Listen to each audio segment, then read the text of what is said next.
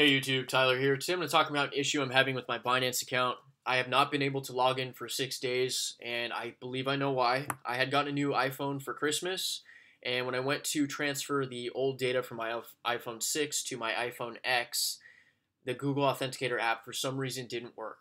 So I'll kind of give you a demonstration. You go to log in, you have your email and password, you drag the puzzle piece over the hole,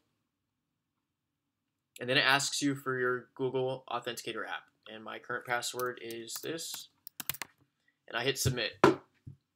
So the 2FA failed pops up. That basically means that my Google Authenticator is not working.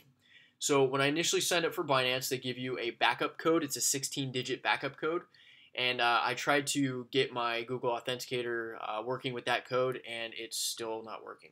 So I'm going to show you how to get around this. You need to go to support on their main page, click Submit Request, select two-factor 2FA, put in your email, the subject, description of what's going on, tell them you can't log in. But I want to talk about this part right here where it says Add File. You need to take a picture of the front of your driver's license, the back of your driver's license.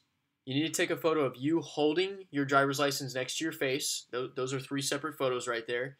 And then you need to get an 8.5 by 11 or any type of paper that's kind of uh, large enough for you to take a picture on, and write the words in quotes, reset 2FA, end quotes, and then on the bottom of that, you want to put the date. Uh, today's date would be December, or, geez, I think I'm in December, January 3rd, 2018.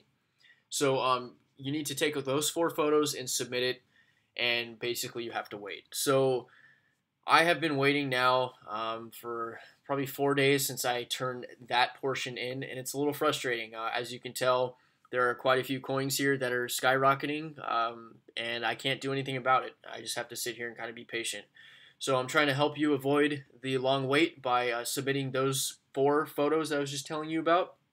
Because if you're missing one of those documents, they will basically send you an email back saying, hey, we need this, and then you're going to be waiting a couple more days. And through my experience so far, Binance does not respond fairly quickly. So um, just try to be patient, guys. I know it's frustrating if this is happening to you. I've been dealing with this for quite a while. If you have any questions, uh, something's not working for you, or you have just any questions in general about Binance and trading, go ahead and uh, send me a message and I will uh, help you out. Thanks for watching.